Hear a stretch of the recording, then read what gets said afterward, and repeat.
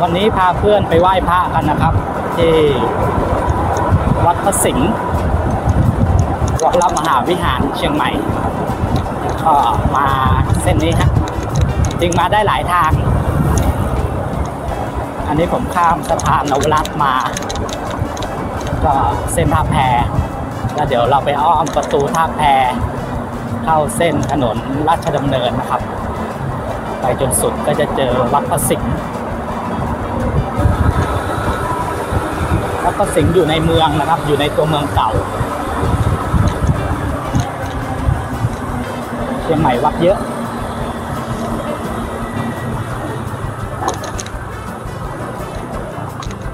ก็พาดูเมืองไปด้วยครับ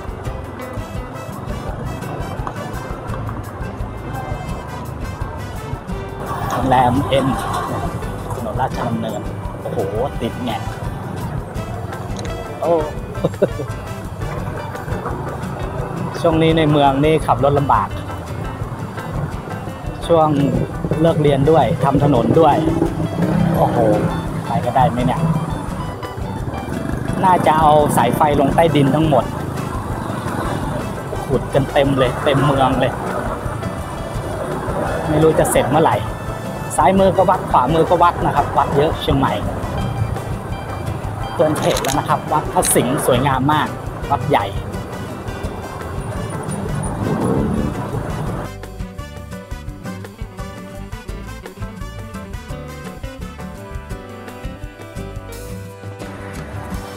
ครับเพื่อนๆก็มาถึงแล้วนะครับ วัดพระสิงห์วรมหาวิหารนะครับ เชียงใหม่ ด้านหลังผมนี้ก็จะเป็นอนุสาวรีย์ของครูบาศรีวิชัยนะครับ แล้วก็พระวิหารหลวงเดี๋ยวพาเพื่อนเข้าไปดูข้างในกันครับ ถนนราชดำเนิน ครับก็พระวิหารหลวงนะครับ ศิลปะรัตนโกสินทร์ผสมล้านนา ด้านในก็พระประธานสวยงามมากครับพระศรีสันเพชรหรือที่ชาวบ้านเรียกว่าหลวงพ่อโต องค์ใหญ่มาก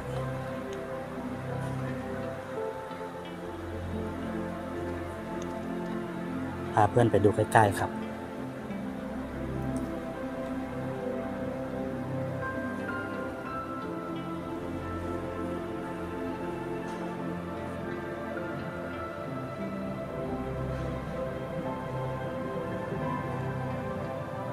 วัดพระสิงห์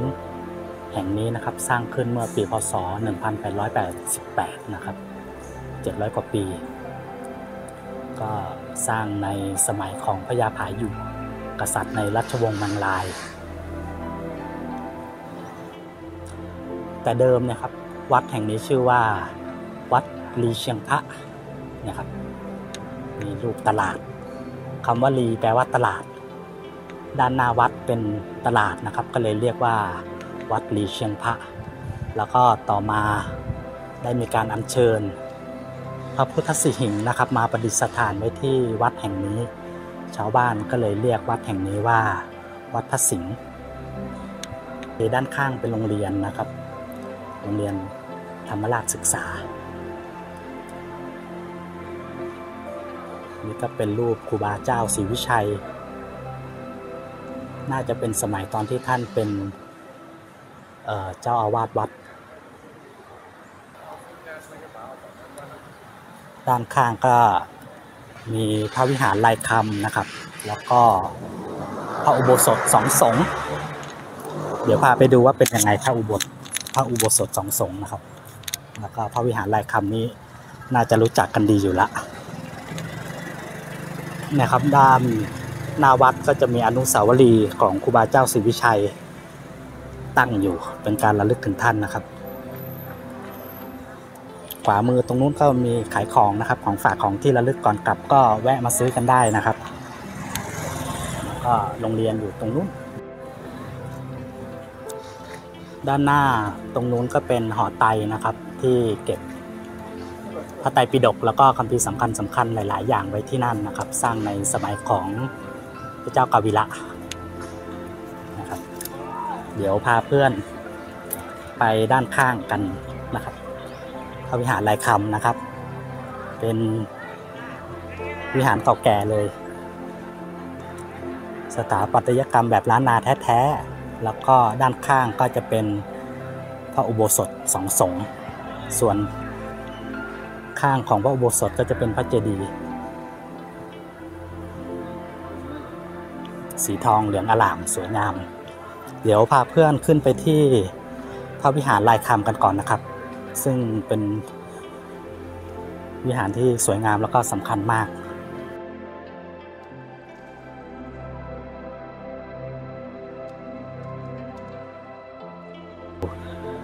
ที่นี่เป็นที่ประดิษฐานของพระพุทธสีหิงค์นะครับ หรือพระสิงห์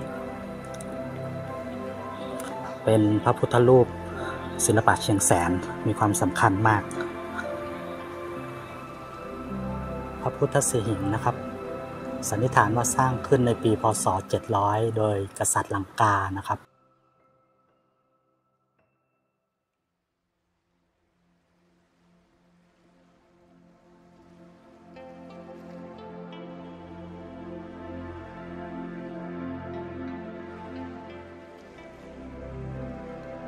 พาเพื่อนไปไหว้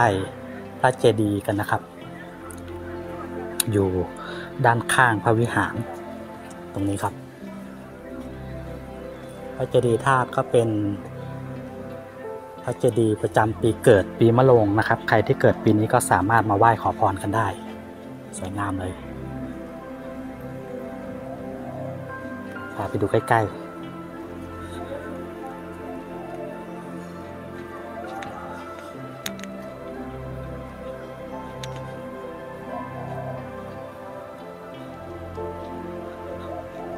เขาก็เขียนให้ถอดรองเท้านะครับ ทางไปไหว้พระธาตุหลวงนะครับ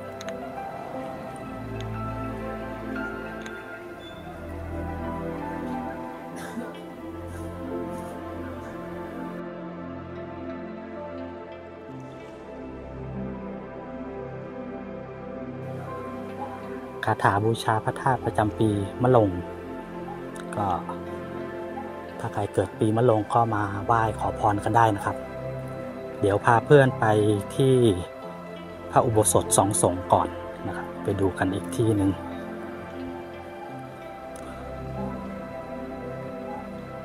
ด้านหน้าตรงนู้นนะครับ ก็เป็นพระอุโบสถที่แปลกนะครับ แปลกกว่าที่อื่นก็คือมีทางขึ้นลงสองทางนะครับ ปกติเขาจะมีกันทางเดียวนะครับ ทางขึ้น หรือทางลง แต่ว่าที่นี่มีสองทางเป็นการจำลองการทำกิจของสงฆ์สมัยก่อนนะครับ ก็คือทางหนึ่งจะเป็นทางขึ้นของพระพิสุสงฆ์แล้วก็อีกทางก็จะเป็นทางขึ้นของพระพิสุณีสงฆ์นะครับครับ พระอุโบสถสองสงฆ์ข้างพระเจดีย์ก็ที่บอกนะครับ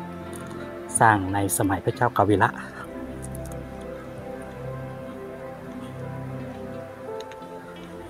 เป็นกึ่งปูนกึ่งไม้นะครับ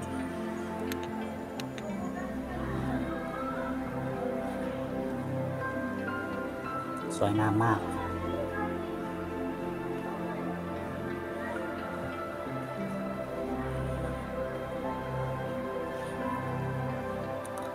ด้านในก็จะมีหุ่นขี้ผึ้งนะครับ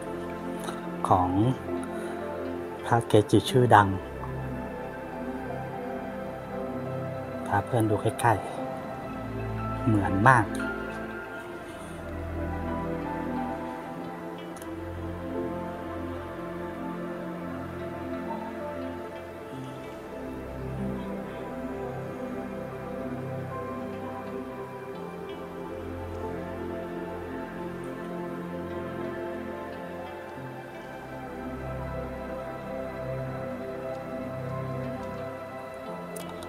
ตรงกลางก็จะเป็นมนดกนะครับ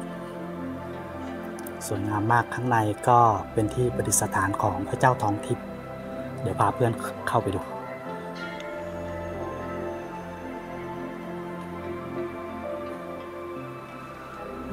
เห็นหรือเปล่าด้านใน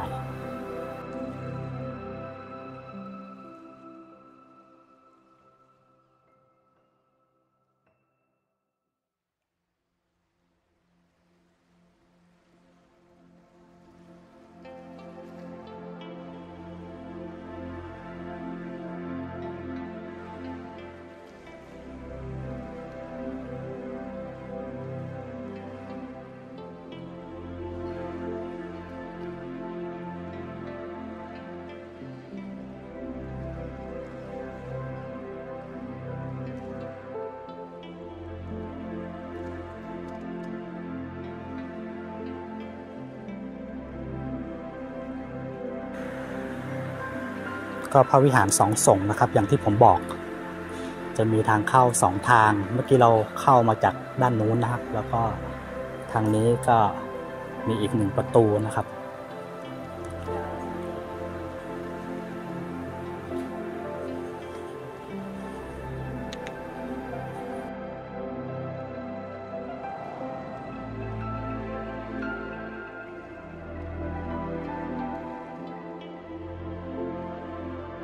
ไตนะครับ ที่เก็บคัมภีร์พระไตรปิฎกสวยงามกึ่งไม้กึ่งปูน เขาให้เข้าหรือเปล่า เข้าได้พาไปดูครับ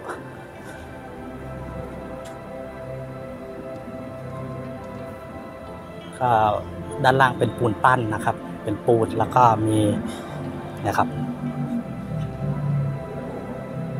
รูปเทวดา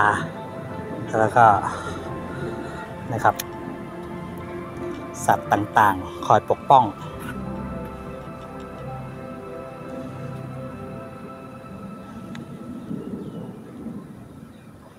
สร้างขึ้นในสมัยของ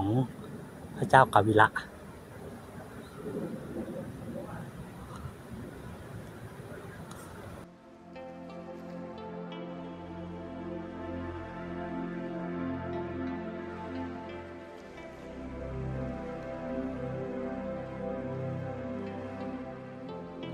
ก็ตรงนี้ก็จะเป็นที่จอดรถนะครับ ด้านข้างติดกำแพงตรงนี้ก็จะมีของขายนะครับ เยอะแยะเลย ก็ถ้าเพื่อนมาก็มาซื้อของกันได้นะครับ ตรงนี้ก่อนกลับบ้านนะฮะก็ไปดูใกล้ๆ ของฝากของที่ระลึกเยอะแยะนะครับ ตรงนี้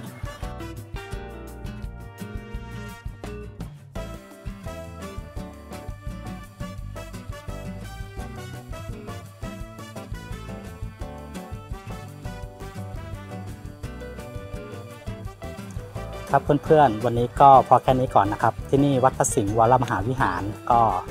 ถ้าได้มาเชียงใหม่นะครับ แนะนำเลยวัดนี้สวยงาม แล้วก็อยู่ในเมืองด้วยไม่ไกล เจอกันใหม่คลิปวิดีโอหน้าหลงเชียงใหม่ สวัสดีครับ